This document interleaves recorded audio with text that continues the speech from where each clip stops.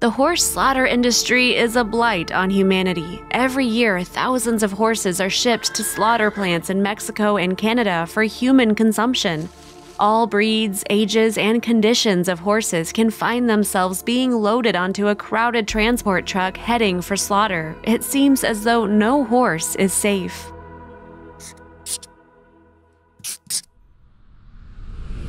Despite the sheer numbers of horses that experience this horror every year, most people are unaware of just how prominent this cruel industry is or just how far it reaches. Statistics show that nearly 80,000 horses are killed for meat every year. This includes foals as well as pregnant mares. Horses bound for slaughter often begin their journey in auction houses, Many unwanted horses are sent to auction by their owners with hopes that their animals will find a new home. Unfortunately, most will end up entering the slaughter pipeline regardless of where they once came from or their past lives. A once well loved companion horse is just as likely to be slaughtered as an ex racehorse. Once purchased by a kill buyer, horses are typically loaded onto a trailer, crammed in with other frightened horses, and forced to endure a horrifying journey. It is not unusual for horses to be transported for up to 36 hours without food or water and often in extreme weather conditions.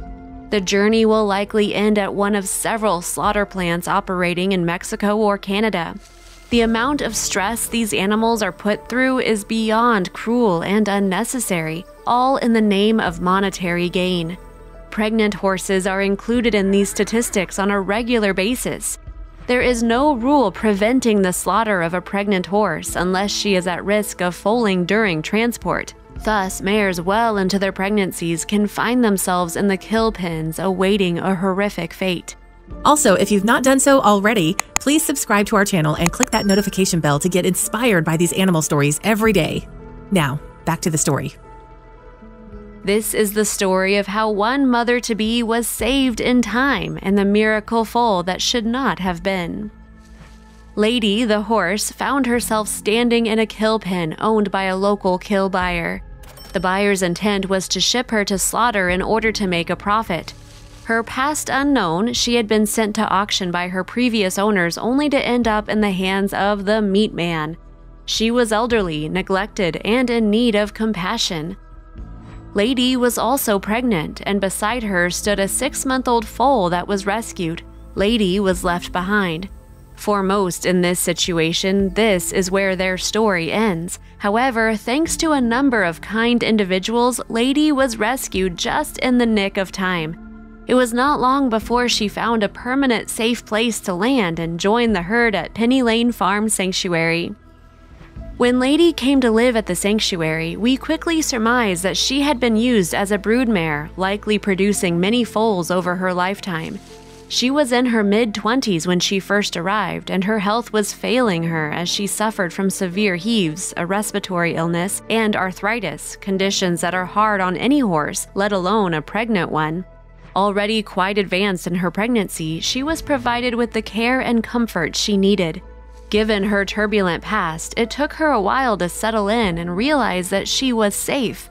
At the time, she seemed unable to fathom a life where she would never be forced to produce more offspring and only know peace and understanding. But this was what the future held for this sweet horse. In late August of 2013, Lady finally gave birth to a foal, a miracle foal that once had very little chance of seeing the light of day or feeling the grass beneath his hooves. Blue, as the foal was named, was brought into this world completely healthy and full of life. His innocence was intact, unaware of the cruelties in the world. It was not long before Lady's demeanor began to change. She was happier, more comfortable with her surroundings, and her health improved drastically. Today, both remain together. Blue was adopted by a volunteer at the sanctuary and are able to continue building their strong relationship. Lady, now 26 years old, spends her days in the company of her companions, horses and humans. Her quality of life is monitored on a daily basis and she is kept comfortable. Neither will ever have to know the suffering felt by some many of their counterparts. They are free, a fact denied to far too many horses.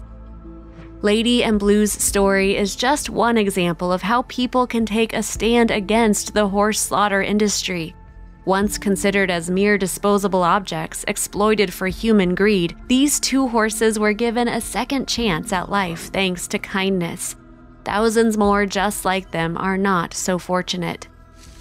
Now that you know the facts about horse slaughter, share this post and educate others around you. By raising awareness, the greater the chance becomes to make a difference in their lives. Contact your local government officials and tell them to end horse slaughter once and for all. You can also make a huge difference in the lives of rescued horses and supporting equine rescues and sanctuaries by volunteering or donating. All beings seek for happiness, so let your compassion extend itself to all. If you like the video, please give it a thumbs up and consider sharing it with your friends and family. Thanks again, and we'll see you in the next one.